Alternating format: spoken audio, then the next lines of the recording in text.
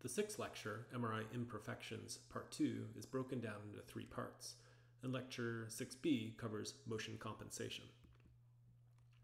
The learning objectives for this lecture include being able to list several methods for managing patient motion, explain how synchronization between imaging and physiology can limit imaging errors, appreciate that MRI signals are complex valued, list several sources of phase in complex MR signals, describe the relationship between motion, phase, and gradients, and finally to understand how flow compensated gradient waveforms limit motion induced signal phase from moving spins. When it comes to motion management, there's always several approaches which we can use individually or, of course, in combination. We can think about better ways to manage the patient or synchronize imaging to the patient's physiology. We can think about specific acquisition methods that might limit motion artifacts. And we can also consider reconstruction methods that could limit motion artifacts. When it comes to uh, motion management in the patient perspective, there are several things that come into play. We can consider breath holding, which we discussed in the previous lecture. Uh, this requires fast sequences that can be acquired during a reasonable period of respiratory suspension, so that can be a challenge for that approach. We can also consider things like respiratory gating and ECG gating. These may ultimately increase the scan time, uh, but at the same time uh, produce images that are, uh, have less uh, artifacts uh, as, that arise from respiratory or cardiac motion. This can have some constraints on the underlying TR as well, and in sequences where the TR is not constant, that can actually produce image artifacts.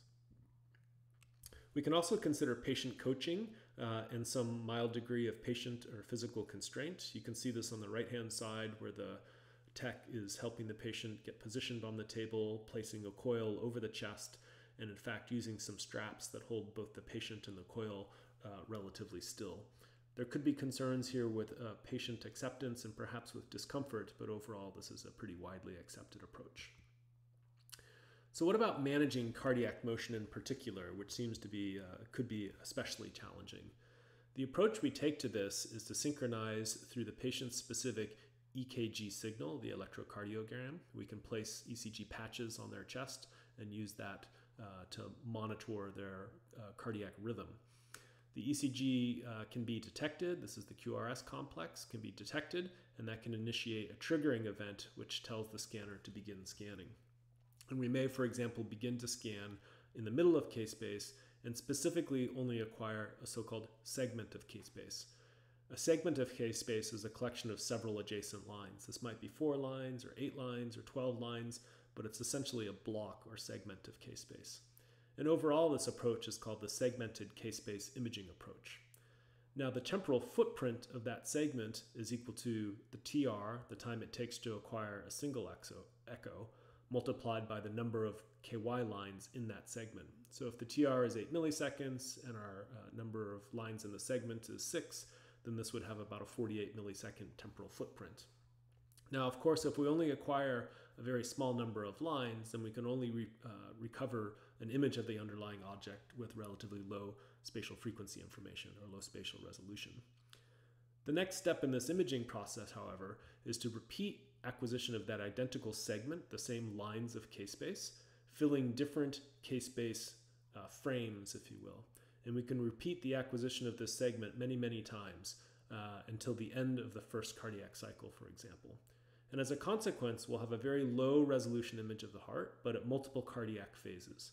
And this could be done, for example, in a single heartbeat. Now, owing to the periodicity of the cardiac cycle, we can do something clever, which is in the subsequent heartbeat, that is the second heartbeat, we can acquire another different segment of K-space, which is adding spatial frequency information relative to the previously acquired K-space data. And as a consequence of filling a little bit more of K-space, our images have sharpened up slightly, while also allowing us to, produce, uh, to image or capture the dynamics of the cardiac cycle.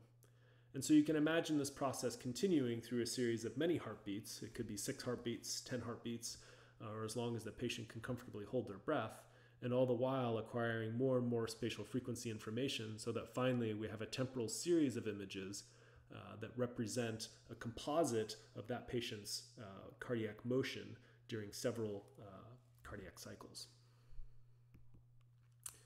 there's other approaches to motion management. Uh, there are reconstruction approaches and combinations of uh, acquisition and reconstruction methods. So we can think about undersampling the data using partial Fourier methods, parallel imaging methods, or even pushing the limits of fast imaging to acquire so-called real-time images, an example of which we see here on the right-hand side.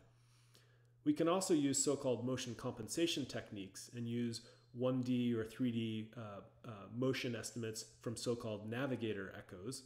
And this is an example of a so-called navigator echo. It's a one-dimensional signal that's acquired, say, uh, through the dome of the left liver lobe, uh, sorry, the right liver lobe.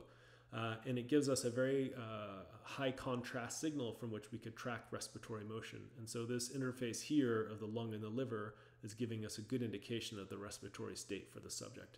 This can be done very quickly and it can be integrated into uh, the data acquisition and reconstruction scheme so that we're keeping data during relevant periods of the respiratory cycle and throwing out other data. Or we can think about actual correction methods where we try to use all this information and build a motion model. So when it comes to motion management, there's a lot of different approaches that we can consider. Uh, at the acquisition end of the spectrum, we've talked some about swapping the phase and frequency encode direction, especially in the previous lecture, to limit motion artifacts. We could also use multiple averages. There's other approaches that we could think about. The one that I want to describe mostly today is so-called flow compensated gradient waveforms. So a very pulse sequence oriented approach to limiting motion artifacts.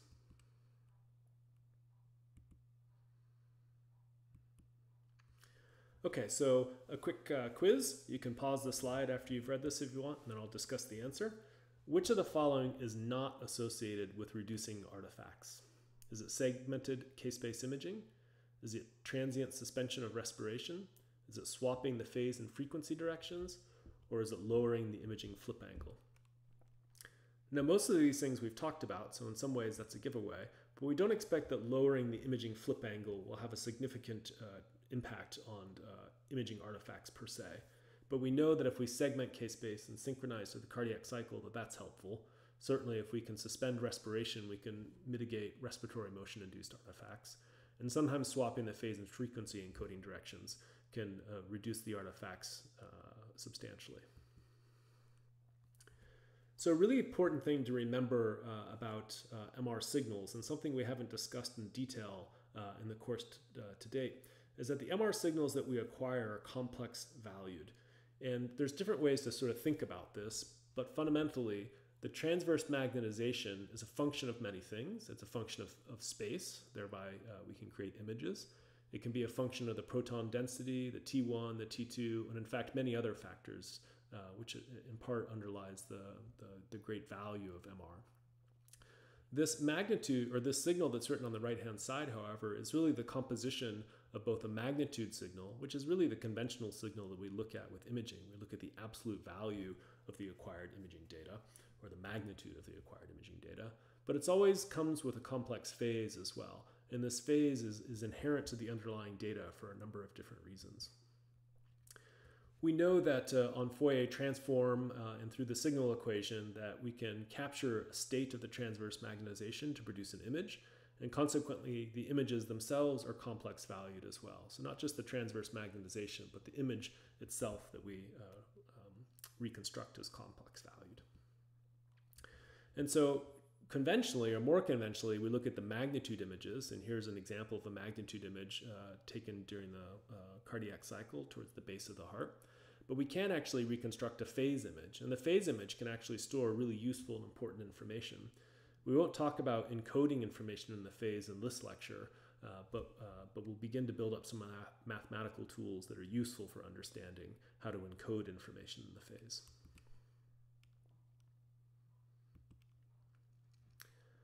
So interestingly, the phase in our, in our complex valued signals comes from many things. We can have the phase from chemical shift effects, we can have phase from susceptibility, and we can have phase from uh, field inhomogeneity. There are different ways to minimize the effects of chemical shift, and in general, susceptibility and inhomogeneity effects can be corrected in, in a variety of ways. And generally, we would refer to these as off-resonance effects. Sometimes off-resonance effects also includes uh, chemical shift effects. We learned in the previous lectures, lectures some about Maxwell terms, which we know can be corrected, and eddy currents, which can be mitigated in a variety of different ways, either using engineering approaches, pulse sequence approaches, or reconstruction approaches. Interestingly, uh, the phase of the transverse magnetization signal can also be affected by the applied gradient moments. And that's a concept that's relatively familiar already because we use gradients to induce phase during phase encoding. Um, but motion artifacts uh, can also arise through the product of the encoding gradients uh, and, the, and the position history of the spin system. So this motion phase can lead to motion artifacts, or in fact, it can actually allow us to encode motion. In this lecture, we'll talk mostly about motion artifacts and how to mitigate them. In the next lecture, we'll talk about how to encode. So at the end of the day, if we can minimize and or correct most of these sources of off resonance, um, then the total phase may just be the, pro, uh, the sum rather of the off resonance phase and the motion induced phase. And there are a variety of methods, we'll talk more about these in the next lecture, where we can estimate the off resonance phase and thereby only be left with a motion component to the phase. And that hints at how we might be able to do quantitative imaging uh, by encoding motion information in the phase of the complex magnetization. So we know that phase arises from the gradient according to the following equation. This is just uh, phi sub g. Uh, it's going to have the amount of phase uh, that will accrue depends on the spatial position and the time, where the time is really uh, time during the application of a gradient waveform. So we have some gradient waveform that's on and then off. It has some function of time. And the amount of phase that we will accrue depends on the magnetic field gradient's amplitude, the spatial position relative to isocenter, and then we have to integrate this over time because the longer the gradient is on, or the stronger the gradient, the more phase will accrue. And of course, this becomes a phase uh, through a multiplication with the gyromagnetic ratio. So here we have a relatively weak gradient. And if we integrate this uh, waveform as a function of time, then we're going to accrue uh, phase relatively slowly. On the other hand, if we use stronger and longer gradients, then that's going to produce more phase more quickly. And so we have a steeper accrual of phase, and because it's on for longer, of course, we're accruing uh, uh, even greater amounts of phase. Now, interestingly, the spin's position history can be expanded through a Taylor series. And so we think of this, this vector uh, expression here as being the position vector as a function of time, and that depends on the initial position of the spin, but it also depends on the, the initial velocity of the spin and the initial acceleration of the spin uh, and then of course as a function of time. So this is a generalized expression for a spin's position history. So we can use that in the phase equation that we just developed to show that the phase arising from a gradient depends on the gradient waveform dotted with the initial position, the velocity times time, some acceleration terms, and in fact even higher order terms. But it turns out for the most part in MR, these higher order terms are quite small and can be ignored and they're left for a, a topic uh, for a different lecture.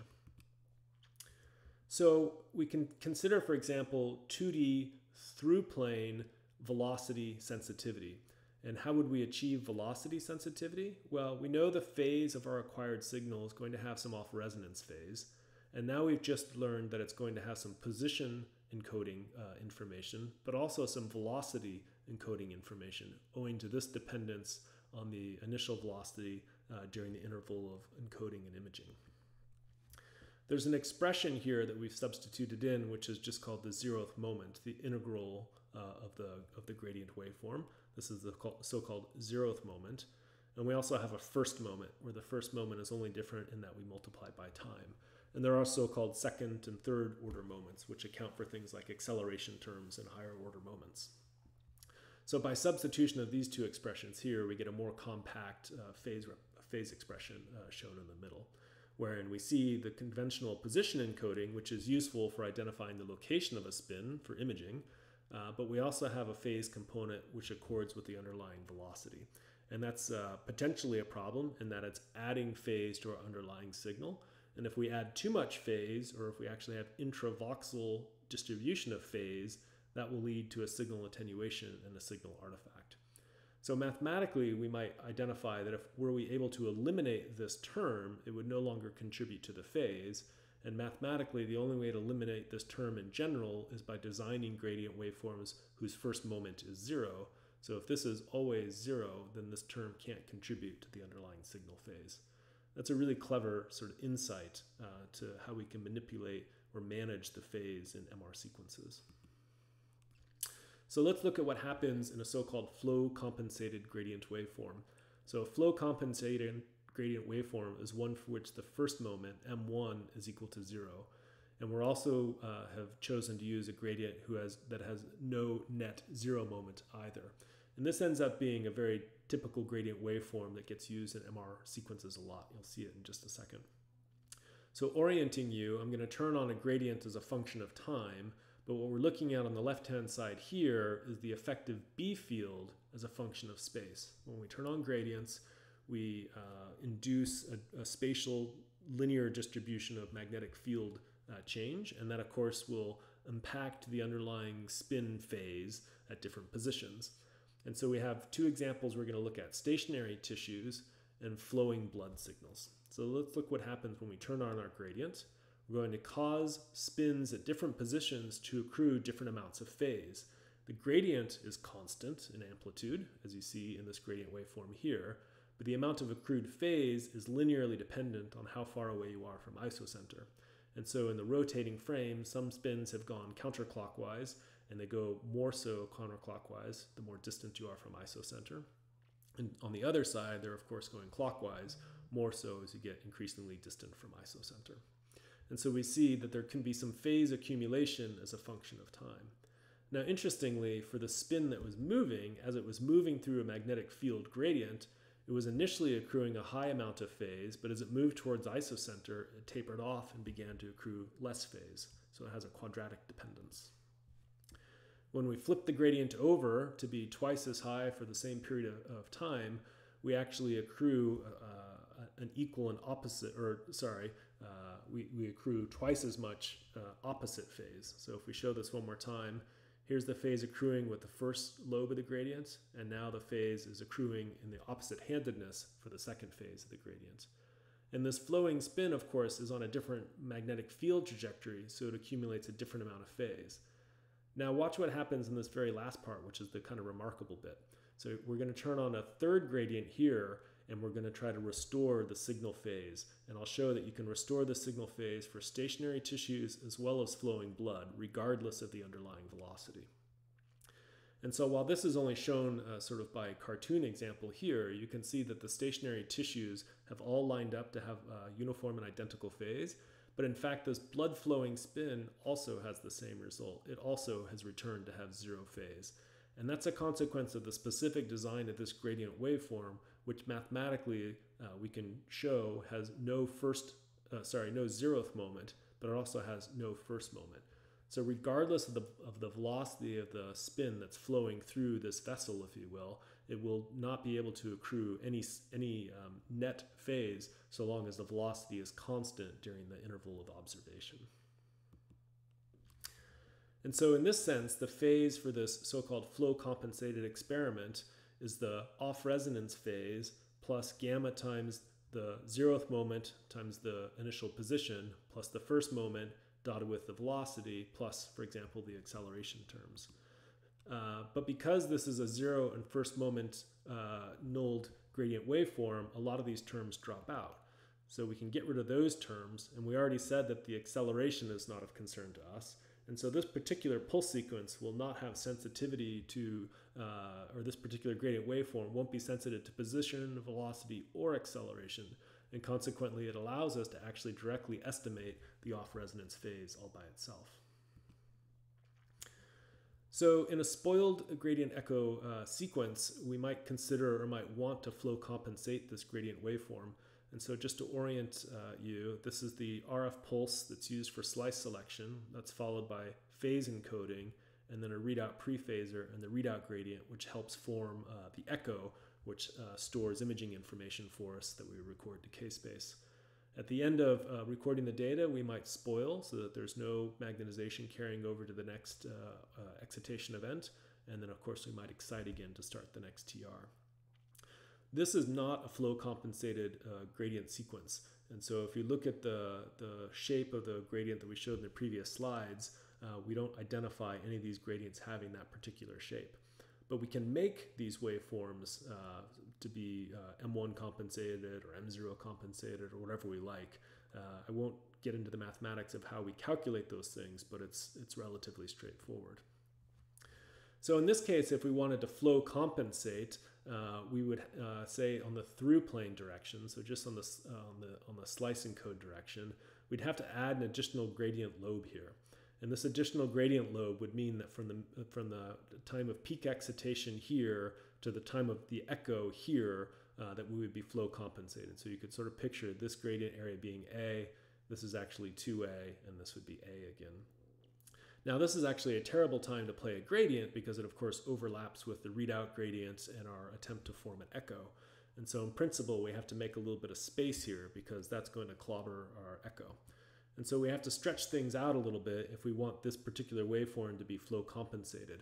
And now by stretching things out, we can move the readout downstream, we can move the echo downstream. It no longer collides uh, with this uh, intermediate sized gradient that would obviously uh, destroy our echo signal. And so this is a way to flow compensate, particularly in the, in the z direction. Uh, and it will mean that flowing spins won't, won't uh, end up with any additional phase. Uh, and remember, additional phase to your signal could lead to flow artifacts or signal voids, uh, depending on the degree and distribution of phase within the voxel. Okay, so let's look at an example here. So here, uh, we're talking about using flow compensated gradient waveforms uh, to, to limit or mitigate CSF flow artifacts. Um, in general, the combination of flow and an uncompensated gradient leads to intravoxel dephasing. And so if the spins are moving at different velocities because of this, in this case of CSF flow, they'll accrue different amounts of phase. And if you have different amounts of phase within a voxel, that leads to signal attenuation. And so without flow compensation, you can see these sort of signal voids, which diagnostically could be concerning if you didn't know what the origin of the, of the signal void was. When we turn on flow compensation, for example, you can see that the signal levels return uh, to near normal. And this is just another example of seeing the same thing, where the motion artifacts are substantially mitigated with a flow compensated gradient waveform, and then just showing something similar uh, in a different view. So it's a very useful thing to include so-called flow compensation in your gradient waveform design, the downside being that it will extend the TE and the TR of your sequence. Here's one last interesting example that'll hint at um, how we might use uh, the phase information for encoding velocity. So here I'm showing a magnitude image. This is again a cardiac image, uh, and you see some fluctuations in signal intensities and overall um, uh, sort of differences in tissue contrast. On the right hand side, I'm showing the phase image, again for a flow compensated sequence. This flow compensated sequence is insensitive to underlying uh, flowing uh, velocities. And so you'll see that the phase in each of these territories here, which uh, I can identify for you as being regions of blood vessels or regions we expect to be uh, high velocity, we don't see any inherent uh, phase distribution here uh, that looks especially interesting, meaning the phase is pretty flat. And in this case, by sequence design, because the first moment is zero, we expect that the phase of the, the flow compensated phase will really just be the off resonance phase. And that's, that's generally what we, hear, what we see here. We, you'll notice that there is some additional phase for things that have chemical shift as well. So this is subcutaneous fat that accrues an additional uh, and relatively constant phase. So this is really an interesting example only in that it shows that the phase can be made relatively constant within regions of high uh, flowing uh, velocities. Uh, and we'll show in one of the next lectures how we can actually turn this around to use it to sensitize to velocities and measure velocities. So one last uh, quiz question. You can pause this uh, and, and read it for yourself, and then I'll discuss the answer. So here we're asking about uh, flow compensating a gradient waveform. Uh, does it mean that it's designed for M1 to be zero? Yes, it does. Does it extend uh, the duration of the gradient waveform by roughly 10%? Indeed it does. Could be a little bit less, could be a little bit more. Does it limit flow artifacts in the images? It sure does. Uh, and do we generally ignore the acceleration effects? Indeed we do. Uh, it's not uh, terribly complicated to account for them, uh, but uh, the higher order terms don't generally contribute as much as the velocity terms. So in fact, the answer would be all of the above. So in summary, we discussed several methods to manage patient motion. We learned about synchronizing the imaging to physiological uh, signals. Uh, we learned, or we know now, that the MRI signals are complex valued and that several factors contribute to the MRI signal phase. We described the connection between motion, phase, and gradients, and we tried to link this both to how uh, phase can uh, be corrupted uh, and lead to motion artifacts, but also how it might be utilized, something we'll touch on more so in the next lecture. And we learned that flow compensated gradient waveforms can eliminate motion induced signal phase for moving spins. We saw that both in the cartoon example and then the in vivo example as well. So now you might be wondering if we can manage motion uh, so well, can we also measure it? And of course the answer is yes, and for that you can turn to the next lecture. These again are two terrific texts I think that uh, provide a lot of insight to the topic that was discussed today, so I encourage you to check them out. Thank you for joining us for RAD 229 and look forward to uh, sharing with you the next lecture shortly.